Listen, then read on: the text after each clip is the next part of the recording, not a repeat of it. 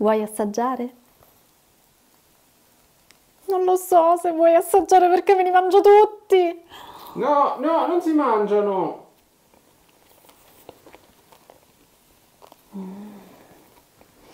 Vabbè Luca. È buono. No, no, per niente.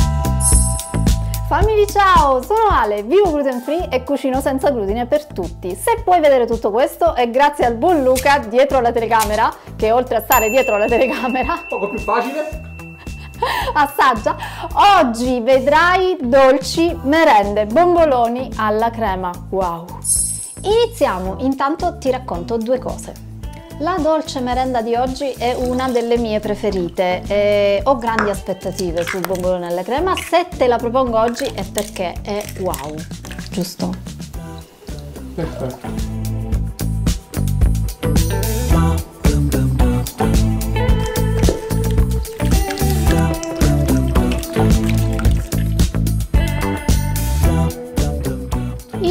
Mix che ho utilizzato per questa ricetta è indicato sempre sul blog. Se decidi di cambiare marca devi fare attenzione alla consistenza del tuo impasto. C'è un momento in cui l'impasto si rapprende e devi fare attenzione a non aggiungerne molto. Ti faccio vedere bene la consistenza che devono avere i bomboloni.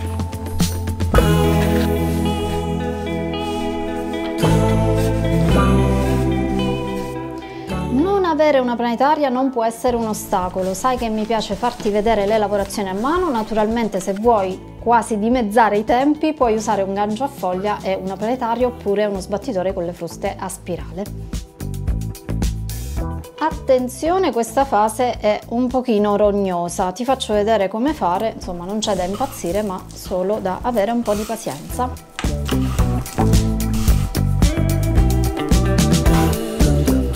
Una volta che il burro è completamente assorbito dovrai fare le pieghe. L'impasto è molto appiccicoso, questo dipenderà anche dal tipo di mix che utilizzi, mi raccomando. Non ti preoccupare, aiutati con l'amido di mais. Perché utilizzi l'amido di mais invece che la farina di riso? Scoprilo e dimmi nei commenti come ti trovi. Prova le mie ricette e poi ne parliamo.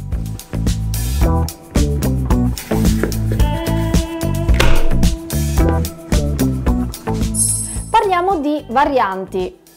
Il bombolone alla crema non si tocca. Eh, dimmi nei commenti se hai bisogno di sostituire o cambiare qualche ingrediente, cercherò di aiutarti. Ti suggerisco, se hai voglia improvvisa ma poco tempo, i miei bomboloni istantanei ugualmente buoni. Ti lascio il link eh, sotto in descrizione e qui nella scheda. Fammi sapere quale ti piace di più.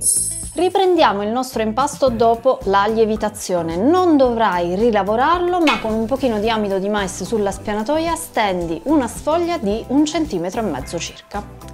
Il bombolone perfetto secondo me deve essere di 8 cm di diametro, qui ho 300 coppa pasta, neanche uno di 8 cm, niente paura se hai un bicchiere o una qualsiasi forma tonda si può fare uguale. Imburra per bene, fai attenzione a fare entrare un pochino di aria quando coppi, altrimenti ti si incastra eh, tutto l'impasto, anche perché è abbastanza morbido, sono le leggi della fisica. Ti faccio vedere come si fa. Come tutte le cose, il primo è sempre un macello, puoi aggiungere un pochino di amido di mais, gli altri andranno meglio. Trasferisci i bomboloni su una teglia e li copri per bene. Naturalmente rimpasta eh, i ritagli e forma gli altri bomboloni. Ecco i nostri bomboloni sono 12 normali, uno piccolino, li mettiamo a riposare per una quarantina di minuti, un'ora, ben coperti a riparo da correnti d'aria. E poi friggiamo. Si frigge! Già prevedo la domanda, addirittura prima di aprire il video, si possono fare al forno? Io lo so che vorresti che io ti rispondessi sì, ma il bombolone è fritto, soprattutto una ricetta senza glutine, se cambi il tipo di cottura cambia completamente la resa. Ti metto una delle tante brioche che abbiamo già fatto al forno altrettanto godibili. Iscriviti al canale così non perdi tutte le altre che verranno. Come li conserviamo? Come li trattiamo questi bomboloni? Chiaramente il modo più classico e buono è eh, farcirli al momento di servirli. Noi per esigenza di ripresa l'abbiamo farciti, tenuti in frigo, mangiati il giorno dopo, com'erano? Come sono? Esatto, sembrano quelli del bar, family, non so che dirvi di più. Però, quanto mi costa? 12 bomboloni fatti in casa mi sono costati 8,68 euro, praticamente 73 centesimi a bombolone. Nei commenti trovi tutti i dettagli.